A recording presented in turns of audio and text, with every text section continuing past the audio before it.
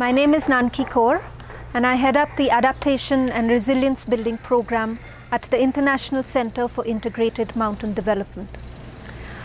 So the world, uh, why does the world need to be concerned about the climate crisis in the Hindu Kush Himalaya? The Hindu Kush Himalaya is considered to be the pulse of the planet. This is a region that spreads all the way from Afghanistan in the west to Myanmar in the east uh, and and this mountainous region is actually home to 240 million people who live in the mountains and an additional 1.65 billion people who live downstream. It is also home to a very to diverse to, to diverse biodiversity uh, that's, that includes four of the world's uh, global biodiversity hotspots and almost 20 percent of the land in this region is under ice. Uh, this ice is actually the source of 10 of the major river systems across Asia and these rivers then go on to provide food and water security to people living in this region. In fact, in terms of food production, uh, this region provides food to almost 3 billion people. That's about one third of humanity. So it, it really is a critical region when we come to think of it. But unfortunately, this region is also at the front line of the climate crisis. Even if temperatures were to rise by 1.5 degrees, uh, that's too hot for our region. It will mean that we will lose a significant volume of our glaciers and communities in our region are already facing the brunt of increasingly frequent floods, droughts and these sorts of impacts are completely destabilizing the well-being of the people that rely on this region. So for, for all these reasons, it's a critical reg uh, region and we really must protect and promote the pulse of the planet. As we know, climate impacts, they cut across country borders. So there is need to cooperate to address these transboundary shocks. And secondly, there is also the need to cooperate so that we can really deliver these actions at scale.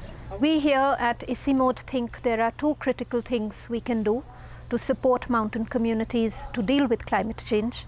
The first of these is to scale up investment in mountain specific climate priorities. So when we refer to investment, that means scaling up financial resources, scaling up uh, capacities, whether those are skills uh, or systems, uh, to have these in place so that mountain communities can deal with climate change. So while we say this, we also recognize that people in the mountains are already doing a lot to deal with climate change. So if you take the example of mountain enterprises, if you look at the tourism sector, there are many small enterprises that are shifting to renewable energy to heat up their homestays or to produce uh, safer food for, for their customers. So that's a great example of moving towards a more greener business model. If you look at our governments in, in the Hindu Kush Himalaya region, all eight governments have put in place some very ambitious uh, climate plans to deal with climate change, whether they, those are plans to start reducing uh, emissions or they are plans to scale up investment in adaptation, be that through better disaster risk reduction measures or measures to improve food and water security. But all these actions, whether it's being taken by local communities or the private sector or by the government, require money and they require skills, uh, which is a very big gap in our region. And that for us is the first priority, again, to scale up investment in mountain specific priorities. The second area that we think can really support mountain communities would be to strengthen cooperation uh, between the eight countries so that uh, we can come together to address climate risks which actually cut across national borders and we can work together to deliver these actions uh, at, at scale and also with speed because this is the decade of climate action. Whatever we do over the next 10 years will determine how resilient our people will be or not as we move forward.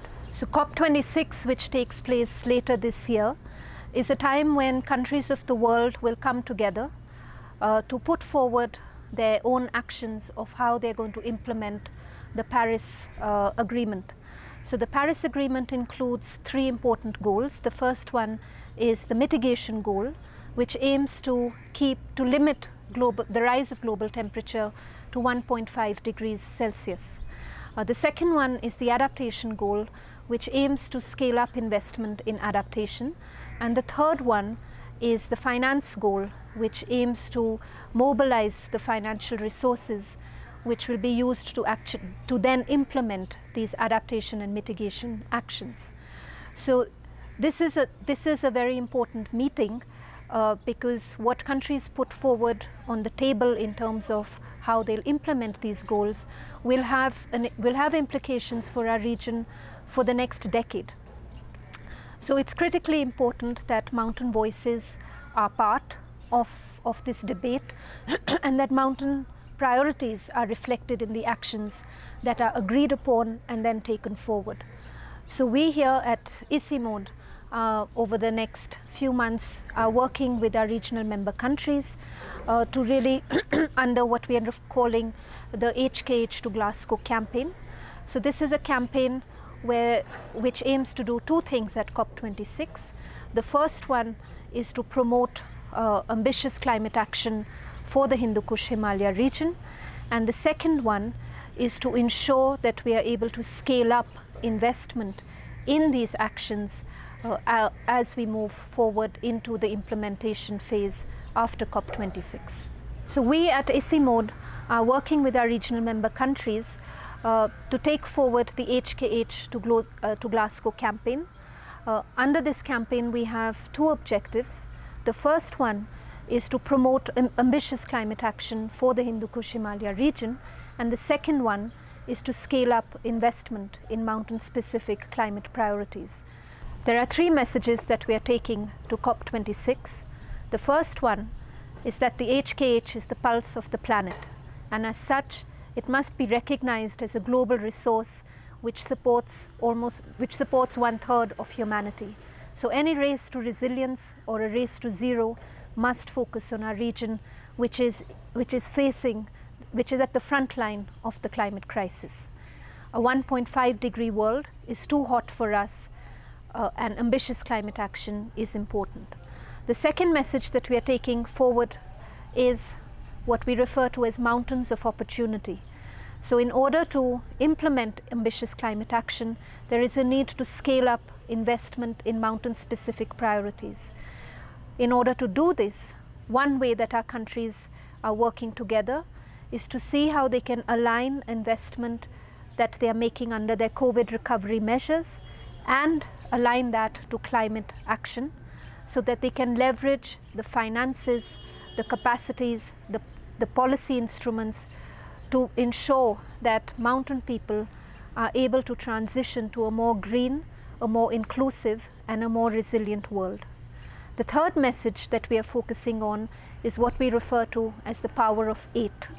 And this really is about our eight countries coming together, working together, and by doing so, being able to leverage uh, better regional cooperation and international cooperation to, to really support or scale up investment in mountain specific priorities at scale and with speed.